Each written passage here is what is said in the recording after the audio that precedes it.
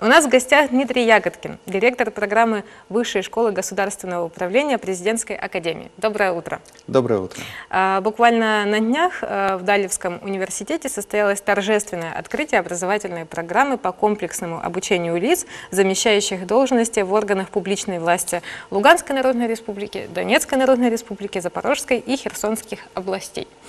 А, расскажите поподробнее, что там такое происходило? Да, Президентская академия как э, главная кузница управленческих кадров для публичной власти угу. по поручению президента Российской Федерации Владимира Владимировича Путина а, выпол, выполняет, соответственно, а, реализует этот комплекс программ. То есть у нас три уровня. Высший уровень – это заместители председателя глав республик и, соответственно, э, областей.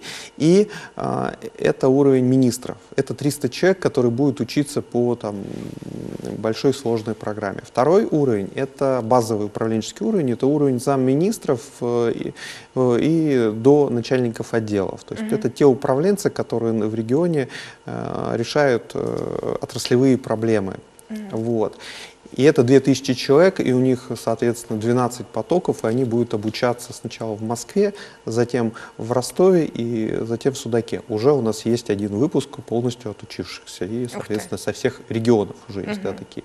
Вот. И третий уровень, самый массовый, и тот уровень, ну, то есть те управленцы, которые находятся ближе всего к людям. Это представители местных органов э, самоуправления угу. и э, подведомственных организаций. Это 3700 500 человек, а, которые там, в 25 потоков до конца года пройдут обучение в формате двух очных модулей и одного модуля дистанционного. То есть это что значит? Это значит, э, мы на четырех площадках, это Луганск, Ростов, Севастополь и Симферополь, а, пройдут там 5-6 потоков на каждой из площадок, mm-hmm. где там 150-170 человек будет совместно получать э, знания и повышать свои компетенции в современном э, управлении, как э, ну, как, как, соответственно, муниципалитетам, угу. какие изменения нас ждут, потому что и, и э, для соответственно, новых регионов, это новые знания. Кроме mm -hmm. того, и в России сейчас происходит большая трансформация местного самоуправления. Уже готовится э, новый э, закон, э, который будет реализован. И здесь я хочу сказать, что как раз новые регионы двигаются чуть-чуть даже впереди, потому что, да, там как раз у них реализованы все такие интересные новеллы для, для этого. Поэтому управленцам этого уровня, на мой взгляд, действительно сложно, потому что новое законодательство, новые требования к документообороту, это и бухгал, новый бухгалтерский учет. Все, все эти знания мы э, постараемся дать, э, ну, может быть, не так широко, да, но мы обозначим основные направления, где можно эту информацию в дальнейшем брать, mm к каким экспертам обращаться. Ну и самое главное, что мы, задача у нас их познакомить между собой, чтобы все угу. четыре региона... Были в контакте. Да, да, да, угу. это очень важный элемент э, с, с современного образования взрослых людей. То есть это, конечно же, нетворкинг и взаимодействие угу. друг с другом. Вы сказали, что уже одна партия, скажем, отучившихся есть. Да, у нас э, и на базовом уровне. Э, на прошлой неделе закончилась такая программа из четырех модулей, и уже в Ростове первый пилотный выпуск, он уже прошел, и люди получили удостоверение. Сейчас вот буквально в параллели с нами происходит второй, второй поток выпуска в Ростове, да, который, соответственно, точно так же э, в пятницу получит свои удостоверения о повышении квалификации нашей президентской академии. Здорово. А сколько, например, вот среднестатистический управленец по времени проходит вот эту вот переподготовку, в общем-то? Ну, а, сама программа рассчитана на 120 часов. Mm -hmm. Мы э, давно реализуем подобные программы, и, и наш подход э, позволяет нам э, в таком режиме эксперимента да, и использования современных технологий Эм, в день мы, и вот эти вот три дня э, учебных, по 12 академических часов. То есть это сложно, Это это, такой тяжело, прям. да, это интенсивно. И здесь э, ну, нужно сказать, что э, требует от участников, конечно же, определенных усилий. Но 36 академических часов в течение трех дней э, как, доходит. Но здесь же вы понимаете, здесь же очень важно, чтобы у людей сложилось понимание, куда можно обращаться, с, э, как, э, какие вопросы, кому, кому, кому задавать их. Да? И а, приглашая преподавателей, прежде всего экспертов в, свои- в этих областях, мы, э, мы надеемся, что у участников ча- на часть их вопросов ответы будут во время самого модуля, потому что мы вот я сказал про пилотный выпуск, да, мы этот пилотный выпуск готовили большой э, командой управленцев, то есть мы, соответственно, все четыре площадки, все четыре университета приглашали в Ростов, где федеральными экспертами совместно с преподавателями делали такую э, максимально насыщенную программу, э, и разбирали кейсы. Это очень важно, приглашать специалистов с земли, там, мэров, заместителей по, по определен- ну, заместителей главы города, э, представителей там, отдельных э, подведомственных организаций. У нас там есть э, хороший кейс, где главный бухгалтер э, колледжа, будучи кандидатом экономических наук и очень хорошо разбираясь в экономике, на примере рассказывал на кейсах, как- с какими проблемами может столкнуться бухгалтер. Ну, м, Вот таким образом это реализуется. А, на ваш взгляд, вообще, почему вот сейчас вот в нашем современном обществе настолько сильно востребован, э, востребовано вот это вот направление управленцев?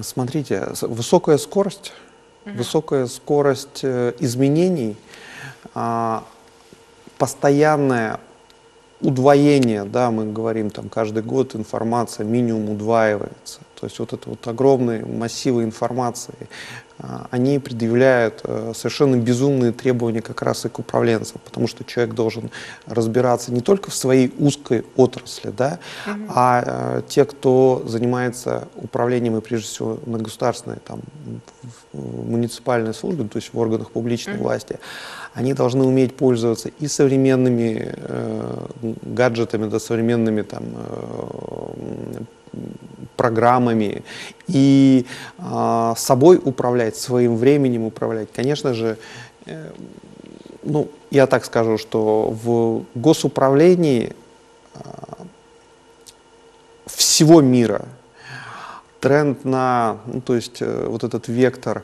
да, на постоянное повышение квалификации, он востребован в том числе от того, что э, это та область, где очень часто м, уровень знаний, компетенций чуть ниже, чем в бизнесе.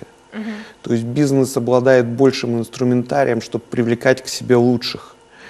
А Мы же э, привлекаем тех, кому прежде всего не все равно, кто не безразличен, то есть кто обладает, э, кто, кто желает э, приносить какое-то благо. Да, это нем- несколько другие люди, вот, и нам таких тоже нужно искать. Вот. Я бы сказал, что здесь вот проблема вот где-то вот здесь вот посередине между а, подготовкой накачкой их новыми знаниями, да, и, соответственно, тем, чтобы люди работали с людьми для людей. Поэтому, э, поэтому неудивительно, что последние несколько лет в ход вошел, а, в обиход вошло там клиентоцентричность, человекоцентричность, да, это как основной принцип э, реализации публичной власти. Как вы считаете, вот э, сколько понадобится времени для того, чтобы партия обучившихся людей отсюда, а- от нас, допустим, ну вот возьмем Луганскую Народную Республику, А сколько потребуется времени нашим управленцам, которые получили нужные знания, необходимую переподготовку прошли, для того, чтобы уже показывать э, на месте хороший результат? Ну, на вскидку. хотя. Я, я понял. Давайте я попробую ответить э, сложно, а потом, а потом Давайте. упростить. А, не, не зря я сказал, что вот эти назвал цифры. 6 тысяч всего человек, э, 2 тысячи там средний уровень, 3700 э, это вот как раз линейный. Это, это на наш взгляд, ну вот как раз организаторов программы, это тот минимальный, ми- минимальное количество, которое требуется для того, чтобы процессы изменений только запустить.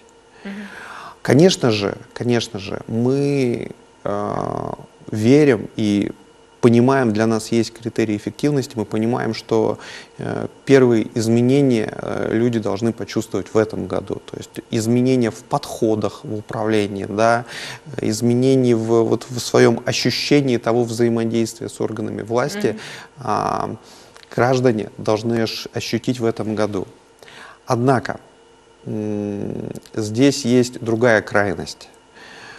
К сожалению, мы находимся, во-первых, в условиях переходного периода. Да, вот это, это тоже, э, тоже а, накладывает определенный отпечаток. А второе, второе не менее, не менее важное, то, что а, ряд вопросов, они не могут произойти э, одномоментно. То есть если мы, например, в этом году, в следующем году, да, запустим э, тот же сайт, тот, тот же самый сайт госуслуги, да, если мы э, откроем МФЦ, да, то есть мои документы, и люди будут иметь возможность там получать, если не все, то большинство услуг, да, это будет понятным эффектом э, взаимодействия, потому что как раз вот мои документы, у нас тоже для этого есть такой практический тренинг, где показываем, как важно органам различным органам власти взаимодействовать между собой, потому что для людей это услуга, они не понимают, что там происходит множество э, коротких взаимодействий эм, большого числа э, этих самых проявляющих, контролирующих, реализующих органов. Да? Вот. Поэтому э, здесь я хочу сказать, что первые изменения в этом году, но переходный период будет непростой. И, опять же, чтобы не обманывать никого, только что были в Крыму, в Севастополе, переход, часть переходного периода там продолжается до сих пор. И э, это тоже понятно, это разумно, э, и это, на это тоже нужно настраиваться. Это работа в, в долгую. Например, э, трансформация Луганского государственного университета, она, с одной стороны, на мой взгляд, будет происходить быстро, да, но ему нужно будет пройти длинный путь, чтобы встать в, ну, то есть встать в те стандарты, которые, по которым работают э, все э, э, российские университеты. И мы в этом тоже готовы активно помогать, в том числе и привлекая дополнительные программы федеральные и реализуя их совместно с Далевским университетом. Спасибо вам огромное за вашу работу. В первую очередь хочется мне сказать вам. А во-вторых, спасибо, что вы пришли сегодня к нам и рассказали о э, таком чудесном ну, вот, проекте масштабном очень. Я надеюсь, что все получится, что все об- обучатся и все будет хорошо. Спасибо вам, это наша там, общая работа, поэтому здесь я нисколько не сомневаюсь в успехе. Спасибо вам большое. Я напоминаю нашим зрителям, что в гостях у нас был Дмитрий Ягодкин. Хорошего вам дня. Спасибо, всего доброго. Утро Донбасса продолжается. Оставайтесь на Луганск 24.